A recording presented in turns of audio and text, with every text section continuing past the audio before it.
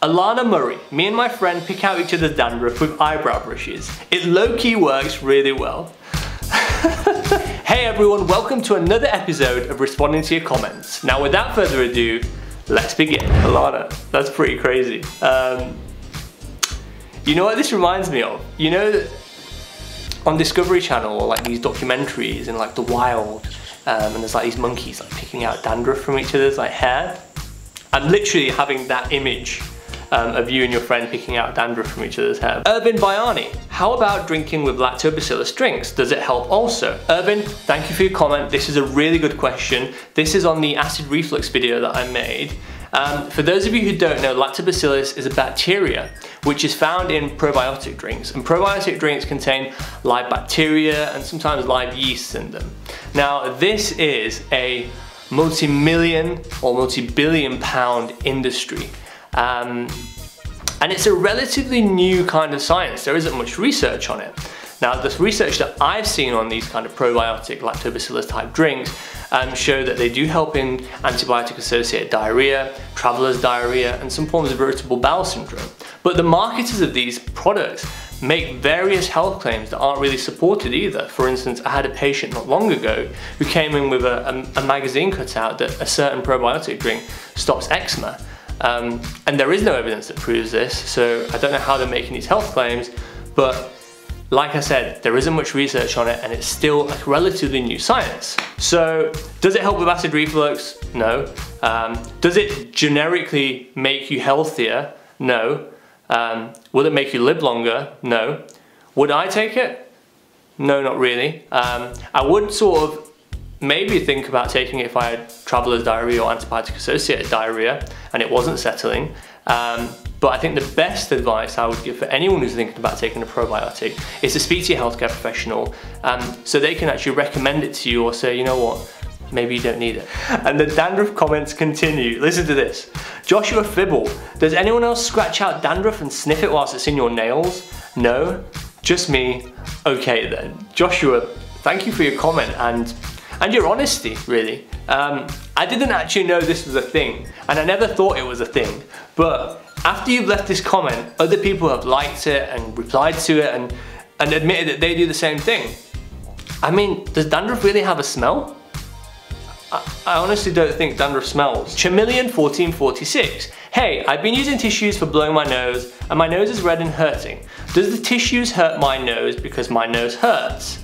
I have a sore throat and a cold at the same time. Chameleon, thank you for your comment. I hope your cold and sore throat and sore nose are all fixed now because this comment is from a while ago.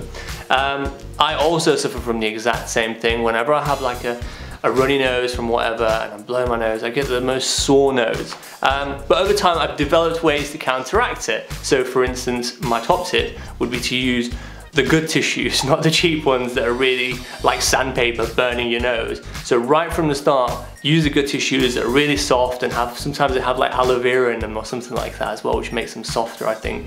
And use them. Very good, reduces the friction and reduces the damage that's then causing that pain.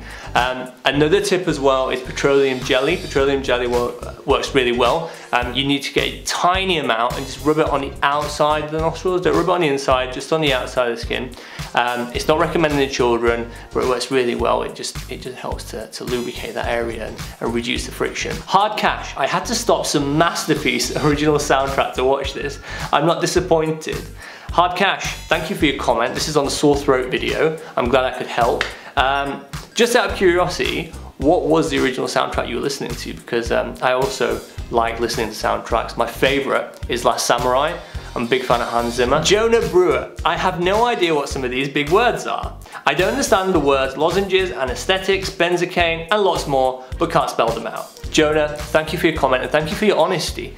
Um, I do try and use pretty easy terms in the videos, but I do appreciate where you're coming from as well.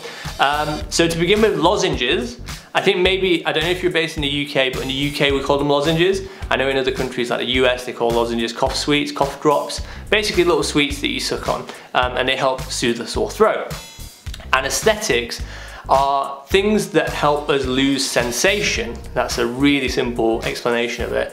Um, for instance, if you ever go to a dentist, and I hope you've never had a tooth extracted or a filling or anything like that, but sometimes they use local anesthetics and it just numbs the area so you can't feel anything and you have no pain.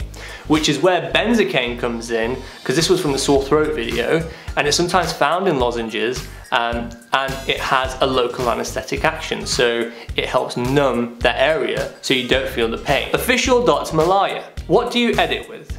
Well Malaya, thank you for your question. I use Final Cut um, and when we're doing big projects, we use Final Cut as well. But is it the best um, editing software? I don't think so. Um, I use Final Cut because I've just got used to it and I've used it from back in the days really. Um, but if I was to choose again, if I was to start again, I would use Adobe Premiere. I think it's much better, it's far superior. Um, but that's what I use and that's what I've got used to. Ivan Blimmins. Hi Abraham, I'm a pharmacy student and I would like to see how a real pharmacist would deal with these situations. For example, if a patient walks into a pharmacy with constipation, what sort of questions would you need to ask in order to make a diagnosis? It would be interesting to see your thought process and how you diagnose and treat a patient. Ivan, thank you for your comment. This is a really good kind of question and idea. Um, the only problem is that making a video on how to actually diagnose is quite tricky um, because firstly, you need that knowledge. Uh, so you're in first year pharmacy school, you've still got a load of years ahead of you. My best advice would be for you um, is to be the best, you know, be the best in your class, learn the most you can, um, understand the diseases, why they happen, understand, and once you understand why they happen, you'll be able to understand why these drugs actually work and which drug is suitable for it. So, but you need that background information before you can make a diagnosis and recommend a treatment. I hope that makes sense. There's loads of like guides as well in terms of consultations, like, you know, what questions to ask, like a template to have, which is good. Like, you know, it's good to ask people like, you know, how long have you had it? What have you tried? Um, and checking for red flags and things like that. But there is also an element of experience that then comes into this.